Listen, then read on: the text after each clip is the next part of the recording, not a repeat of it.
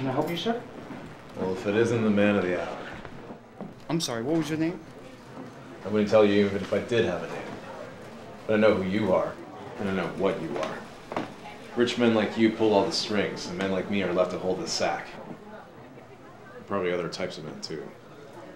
I'm not a rich guy. I'm just running for school superintendent. That doesn't impress me.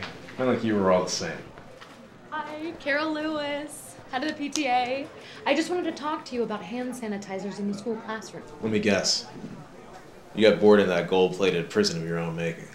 Then you decided to get into politics. And why not? By all appearances, you look like a respectable, successful family man. But I'm guessing your kid hates your guts and your trophy wife is finger banging the pool boy. Am I getting warmer?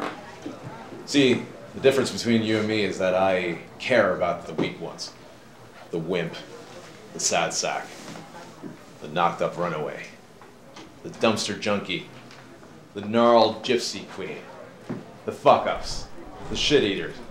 These are my people. Hell, I made my life's mission to. Hold that thought.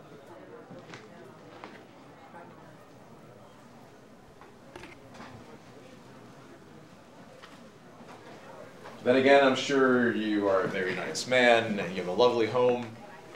Best of luck in the election.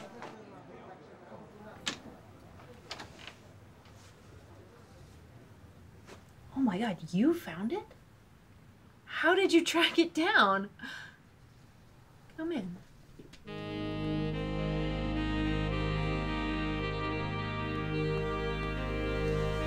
Don't make it a big thing, Jane. All I did was risk my life to pull out the greatest piece of detective work in human history. There's a bar if you'd like a drink.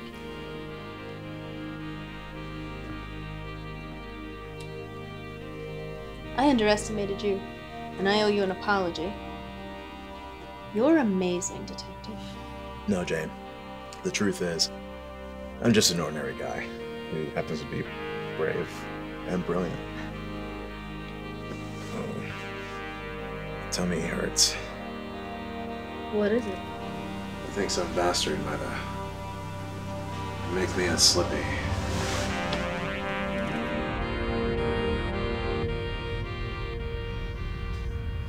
Thanks for bringing me the statue, Detective.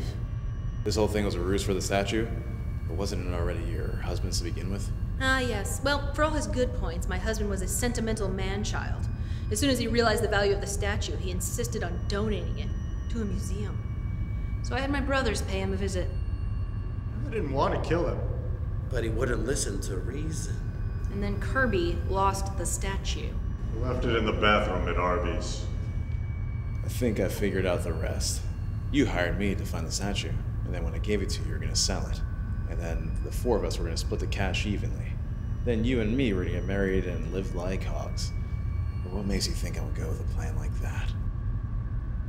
That's not the plan. Kirby, call the police and tell them we've captured my husband's murderer. Wait, you're forgetting one thing, Mrs. Archer. And what's that? How the hell should I know? I'm not a mind reader. Call the cops.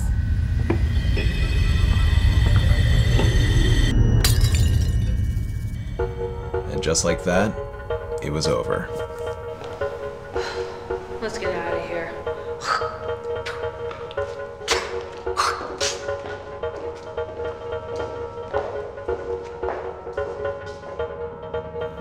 As I made my way home, I found myself wondering if it was too late for a career change. But at this point, what else could I possibly do?